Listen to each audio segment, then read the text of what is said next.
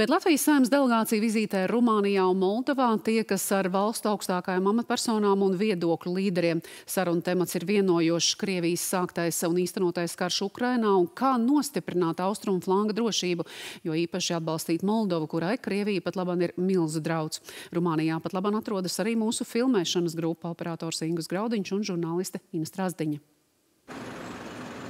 Saimnes delegācija, ko vada saimnes priekšsēdētājs Edvards Smiltēns, šobrīd atrodas šeit, Bukarestē, Rumānijas galvaspilsētā.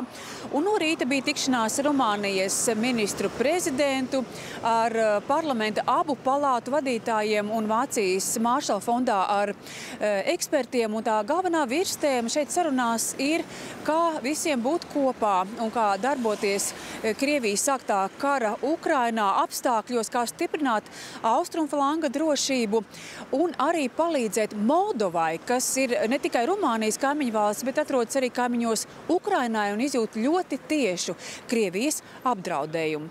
Par to šeit daudz tik runāts, jo tieši Rumānijai ļoti liela loma ne tikai reģionā, bet arī Moldovas drošībā. Rumānija ir Eiropas Savienības un NATO dalībvalsts un ļoti labi šajos apstākļos var palīdzēt. Un lūk, ko mums sacīja Edvards Miltēns.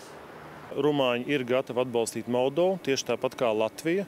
Mēs šobrīd runājam nevis par vidēju vai ilgtermiņa palīdzību Moldovai, tā palīdzība vajadzīga ir tieši šodien. Moldovā sabiedrība arī tiek musināta, notiek šīs psiholoģiskās informācijas operācijas. Moldovas teritorijā no Krievijas puses ir mēģinājumi destabilizēt valsti un musināt sabiedrību. Tas, kas mums ir skaidri jāparāda, tātad šis eiro integrācijas kurs viņam jābūt straujākam.